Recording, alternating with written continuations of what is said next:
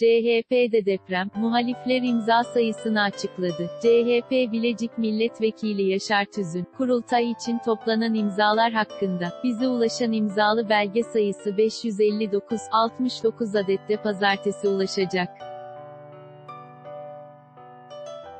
Toplam 628 imzayla yeter sayı elimizde var, açıklaması yaptı.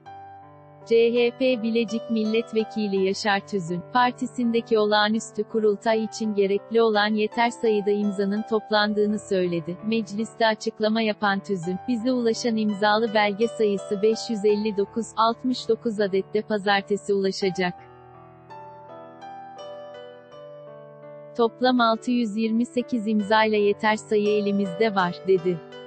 CHP'de olağanüstü kurultayın toplanabilmesi için 625 kurultay delegesinin noter tasdikli imzalaması gerekiyor.